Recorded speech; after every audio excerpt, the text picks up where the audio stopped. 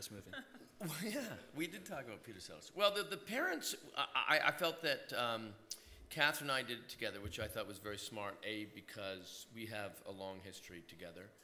And, um, and I think, I mean, you can correct me, but I think that Tim really had a specific, very specific idea of, of what he wanted from those characters, and, and the operative idea was very intimate and very real, and so by doing it together, it was easy to achieve that.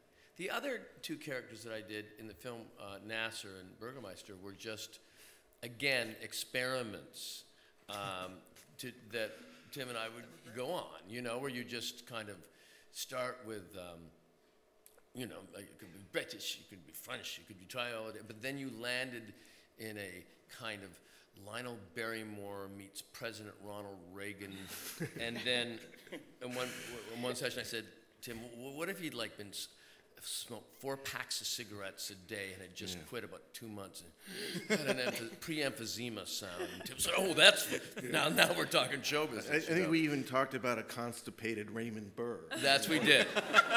Well, who doesn't? Because that's what I've always felt about the Canadian health system. When people say it doesn't work in the United States, I say, yeah, we'll look at Raymond Burr. You know, Whatever that means. whatever that means. I thought you referenced Raymond Burr for Weird Girl too, didn't you? Everyone is Raymond Burr. And Catherine, did you uh, did you draw on Raymond Burr at all for, any- for any of In your all my characters, I can't lose them.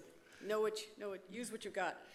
Um, no, I think it was very smart on Tim's part to bring us both in for uh, the Frankenstein's to record that together, because then it cut down the number of times he'd have to say, um, "Why don't you say it like a human being would say it?"